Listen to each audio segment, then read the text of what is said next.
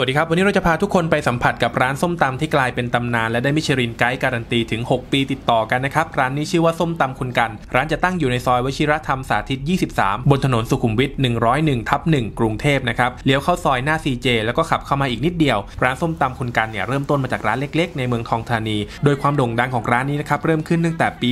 1999 หลังจากชนะการแข่งขันส้มตำจนทำให้มีคนรู้จักมากยิ่งขึ้น แล้วก็เปิดขายมาเรื่อยๆ จนได้รับรางวัลมิชลินบีฟกรูมองนะครับทุกปีตั้งแต่ปี 2018 ซึ่งหมายถึงร้านอาหารที่มีคุณภาพในราคาที่เข้าถึงได้นะครับหลังจากได้มิชลินแล้วเนี่ยร้านก็โด่งดังคนก็แห่กันมาชิมนะครับแน่นร้านทุกวัน และจุดเด่นที่สุดของร้านนี้ก็คืออาหารไทยอีสานที่รสชาติเข้มข้นถึงใจแซ่บแน่นอนนะครับเริ่มต้นด้วยบรรยากาศร้านกันก่อนครับร้านนี้กว้างขวางมากมีที่จอดรถสะดวกสบาย เหมาะสำหรับการมาทานอาหารกับครอบครัวหรือว่ากลุ่มเพื่อนครับนั่งสบายๆท่ามกลางบรรยากาศที่เป็นกันเอง มีการจำลองบรรยากาศทุ่งนานะครับข้างนอกก็ร่มรื่นต้นไม้เยอะดีโซนห้องแอร์เขาก็มีนะครับจะมากินคนเดียวหรือว่ามาหลายคนก็ฟินได้สบายๆนะครับส่วนวัตถุดิบที่นี่ใช้แต่ของสดๆปลากุ้งเอามาลงวันต่อวันนะครับมาน็อกกันที่ร้านเลย เริ่มต้นกันที่เมนูที่ทำให้ร้านนี้โด่งดังที่สุดนั่นก็คือส้มตำนั่นเองครับรสจัดจ้านแบบอีสานแท้ๆปลาร้าของที่นี่เขาพิเศษมากๆนะครับใช้ปลาร้าสูตรเฉพาะที่ทางร้านต้มเคี่ยวจนหอมนัว โดยใส่ทั้งใบกระถินใบเตยสับปะรดและก็เครื่องสมุนไพรอื่นๆ อีกหลายอย่างนะครับ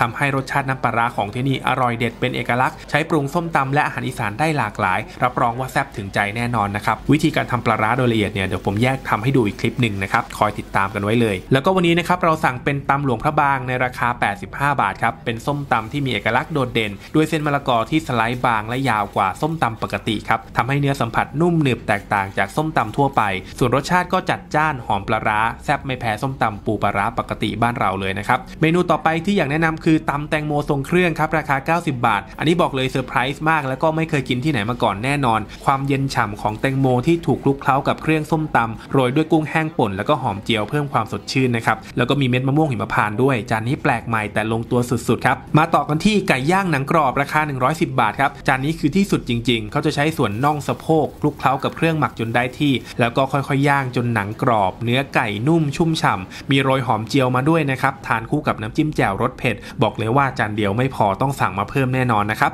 หรือจะเป็นคอหมูย่างอบน้ำผึ้ง135 บาท ก็อร่อยไม่แพ้กันครับคอหมูย่างหอมนุ่ม หมักนานจนรสชาติซึมเข้าเนื้อทาด้วยน้ำผึ้งให้รสชาติหวานอ่อนๆ จิ้มกับน้ำจิ้มแจ่วเปรี้ยวหวานกินเพลินมากครับ แล้วก็คอหมูเขานุ่มแต่กินแล้วไม่เลี่ยนเลย ใครชอบอาหารทะเลต้องไม่พลาดครับ ปกติจะต้องเป็นกุ้งนะครับ แต่ที่นี่เป็นปลากระพงทอดซอสมะขาม ในราคา 400 บาทครับ ปลากระพงเขาจะใช้แต่เนื้อเลยนะครับ ทอดกรอบนอกนุ่มใน คลุกกับซอสมะขามที่มีรสหวานอมเปรี้ยว พร้อมด้วยสมุนไพรทอดอย่างตะไคร้ใบมะกรูดและกระเทียม โรยเม็ดมะม่วงหิมพานต์อร่อยมากครับ รสชาติคนละอย่างกับกุ้งซอสมะขามเลย อันนี้ต้องกินพร้อมกันทั้งปลาและสมุนไพรกรอบ รสชาติจะเข้ากันได้ดีสุดๆครับ ต่อมาเป็นเมนูปลาช่อนนานึ่งแจ่วนะครับ370 บาท ปลาช่อนที่นี่จะใช้เป็นปลาช่อนนาสดๆเป็นๆนะครับ ซึ่งเนื้อปลาช่อนมันจะหนึบสู้ฟันกว่าปลาช่อนทั่วไป กฎเหล็กของเมนูปลานึ่งก็คือต้องใช้ปลาเป็นเท่านั้นครับ เพราะจะต้องการรสชาติและเนื้อสัมผัสที่ธรรมชาติของปลานะครับ เขาก็จะนึ่งไปพร้อมกับผักสดเลย เนื้อปลาช่อนนึ่งสุกกำลังดี เสิร์ฟพร้อมกับน้ำจิ้มแจ่วรสแซ่บ แล้วก็กินกับผักสดอร่อยเข้ากันมากครับ ต่อมาเป็นอ่อมไก่บ้านครับ อ่อมไก่บ้านราคา 130 บาทนะครับ เป็นเมนูอาหารที่มีความเป็นเอกลักษณ์ทั้งในเรื่องของวัตถุดิบและวิธีการปรุง โดยจะใช้ไก่บ้าน ซึ่งมีเนื้อหนึบเหนียวแล้วก็รสชาติที่เข้มข้นกว่าปกติ แล้วก็ใช้ผักต่างๆ ที่ให้รสชาติหวานและกลิ่นหอมเป็นเอกลักษณ์นะครับทำให้เมนูนี้มีกลิ่นหอมสมุนไพรและรสชาติที่เข้มข้น ที่หาไม่ได้จากแกงธรรมดาทั่วไป แล้วก็จะมีลาบเป็ดด้วยนะครับราคา 110 บาทนี่ครับของแท้ต้องมีหนังเป็ดทอดกรอบแบบนี้ กินแล้วมันจะเข้ากันฟินมากๆครับแต่ถ้าใครเป็นสายยำขอแนะนำยำกุ้งฟูครับ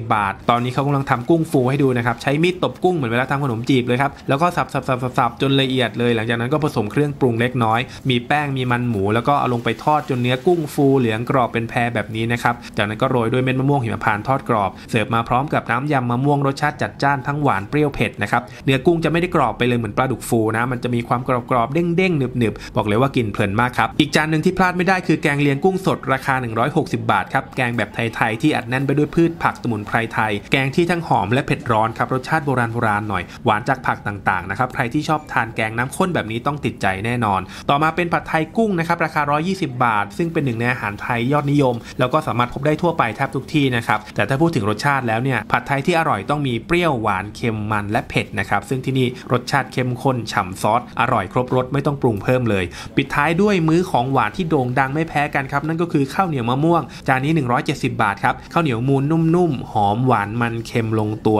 เสิร์ฟพร้อมกับมะม่วงสุกน้ำดอกไม้หวานฉ่ำแล้วก็น้ำกะทิหอมมันครับอันนี้ขายดีมากจริง ๆ ต้องบอกเลยว่าข้าวเหนียวมะม่วงร้านนี้ดังมากนะครับแล้วก็เคยทำสถิติกับกินเนสบุ๊กด้วยว่าเป็นข้าวเหนียวมะม่วงที่ใหญ่ที่สุดในโลกนะครับแล้วก็อันนี้อีกถ้วยนึงครับอันนี้คือ the best มากๆเลยไอติมกะทิข้าวเหนียวมะม่วงครับผมสุดจริง complete แล้วชีวิตนี้ได้กินถ้วยนี้นะครับมันอร่อยมากๆ แล้วก็หน้าร้านตรงนี้นะครับจะมีขนมครกคู่ขวัญราคา 40 บาทครับขนมครกหอมมันหวานน้อยๆทำกันใหม่ ๆ แค่กันสดๆอยู่หน้าร้านเลย อันนี้ต้องรอนิดนึงนะครับเป็นการตบท้ายมื้ออร่อยๆได้เป็นอย่างดีเลยทีเดียวครับ ใครที่ชอบความอร่อยจัดจ้านสไตล์อีสานแท้ๆ การันตีด้วยรางวัลมิชลินแบบนี้นะครับ ต้องไม่พลาด แวะมาได้เลยที่ร้านส้มตำคุณกัน ร้านเปิดตั้งแต่ 10 โมงเช้าจนถึง 3 ทุ่มครึ่งทุกวัน ส่วนศุกร์เสาร์อาทิตย์เปิดถึง 4 ทุ่มนะครับ รับรองว่ารสชาติและบรรยากาศเนี่ยจะทำให้คุณประทับใจไม่รู้ลืมเลยครับ ส่วนพิกัดและรายละเอียดเดี๋ยวดูเพิ่มเติมในคอมเมนต์นะครับ วันนี้ลาไปก่อน พบกันใหม่คลิปหน้าครับ สวัสดีครับ